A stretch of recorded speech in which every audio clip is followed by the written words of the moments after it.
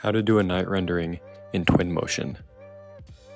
This is something that is pretty simple and straightforward and shouldn't take a lot of time, but does require a lot of legwork after to make the render visible and show up properly. So first, what you do is you go into lighting under the rendering settings and you want to do a normal sky. This way you can go to location and manipulate the time of day, year, and location. With the other dynamic skies, you are unable to do this. They give you great options, but for night renders, I feel like this is the best way to do it. So you adjust the time of day to something in the morning or in the evening that provides no sunlight. And then you can see the stars and see that the sky is a little bit darker. Now, as you can see right now, only the video boards are illuminated, leaving a lot of the context really dark. So you can also change the background from cityscapes to countrysides, stuff like that, that you can see in the distance. And in this case, the cityscape kind of lights up and you can see the lights from the buildings just so subtly to really emphasize that it is nighttime. You can also change the month.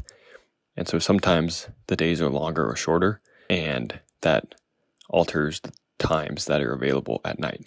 Now I'm changing the exposure because it's a little too light out, making it a little bit darker to really show how dark it does get at night. And now I'm boosting up the star intensity so that the stars are more visible, turning down the ambience just because the building was a little too strong.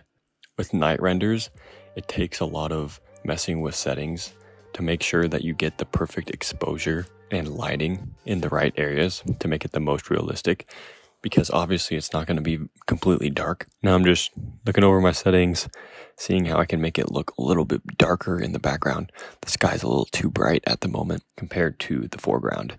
And so I just want to make sure that the foreground and the background are somewhat similar, telling the same story of a night render. Now you can see the people to the upper left corner and they're somewhat visible, but you can't really make out their faces or their full figure, which is perfect and what we need. Another way to make a night render a little bit better is just adding lights. This will give some illumination in certain areas. And since this is a public space, it'll show and activate this area a little bit better. Now, I'm not going to go through and add a bunch of lights, but I'm just using this as an example of what could happen. In addition, these lights are pretty dull, so you'll have to go into the lighting tab and add additional lights to them. Now, you don't want to make them too bright and unrealistic, but by kind of showing this setting, it definitely provides a little bit more exposure and lighting to this area. Now, the building seems a little bit too dark, and this building will be used at night. It's a movie theater, and so I want to show that it's still being used. So I'm going to put in a couple area lights inside to reveal what it's going to look like and how light can come from the building. As you can see, it looks a little bit better. Um, let's go to the front of the building on the ground level. I've already prepared some lighting on this level for the street lights, sidewalk lights, and the traffic lights. Now there's multiple ways to illuminate. I'm going to add another area light inside, and as you'll see, this will really help how it's going to look.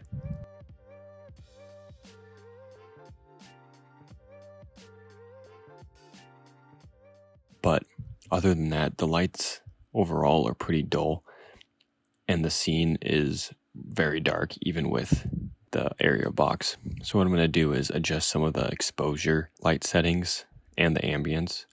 I think it doesn't have to be completely at midnight when it's the darkest or whatever. It can be kind of when the sun's setting or right after the sun sets where there's still a little little bit of light visible and people are still out and about just keeping that realism into the render because usually when it's pitch black, people aren't out doing stuff. So if I want to show that, they won't correlate quite right. I'm going to export and we're going to compare the two after I adjusted those settings. So this was before and then after I adjusted all those light settings and you can see a huge difference in just how visible things are, but just the realistic capabilities that it has. Now, the streetlights might be a little too yellow, but you're just getting a sense of the different things that you can illuminate. Now, this is just a beginner's tutorial on how to do night renders. Like this video and comment, and I will go ahead and do one of those in the next couple days. Thank you.